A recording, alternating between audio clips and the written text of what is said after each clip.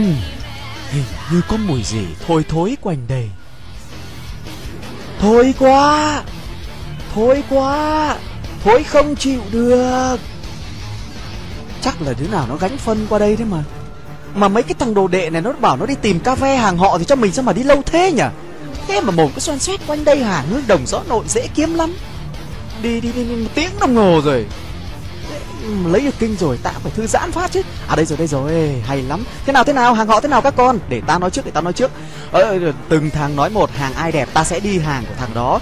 Ờ, sư phụ à chỉ có một đứa thôi. Da trắng chân dài nó đòi nó đòi bao nhiêu còn cứ nói. Tiền nóng không thành vấn đề. Nó đòi hai vé nhưng thằng này nó bảo hai trăm rưỡi nó định ăn 50 sư phụ à không phải là con đòi ăn 50 đâu nhưng cái chính là con lo là lo ừ, không an toàn. Hiv ở ờ, hiv à? Ừ, ừ cũng lo đấy chứ nhỉ?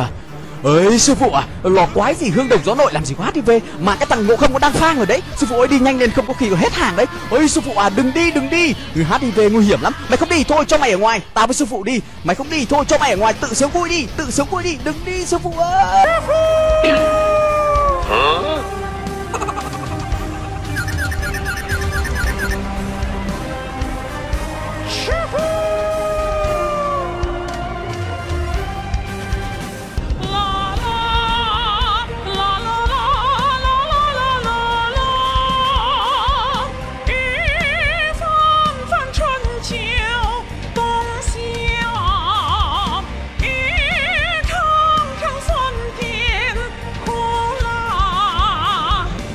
根花落在何方？